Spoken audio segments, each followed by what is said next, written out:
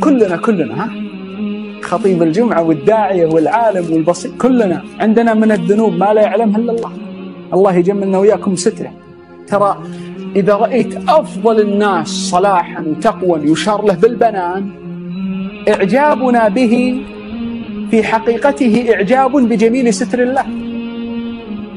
إي والله يا إخوان.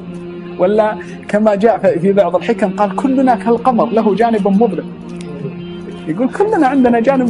والله يا إخوان لا هو بعضنا يحسبنا أبو بكر. لا لا عندنا جانب مظلم عندنا جانب.